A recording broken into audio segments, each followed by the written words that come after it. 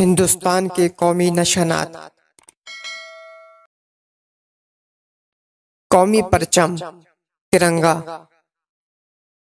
हिंदुस्तान के कौमी नशान में नीचे अशोक चक्र होता है, जिसके एक जानिब सांड और दूसरी जानिब घोड़ा होता है, और ऊपर की जानिब चार शेर बने हुए होते हैं, जो सामने से सिर्फ़ तीन ही दिखाई देते हैं। कौमी करेंसी रुपया। कौमी तराना जन गण मन। कौमी नदी गंगा नदी। कौमी परिंदा मोर। कौमी जानवर चीता। कौमी समंदरी जानवर डॉल्फिन। कौमी फूल कवल का फूल। कौमी फल आम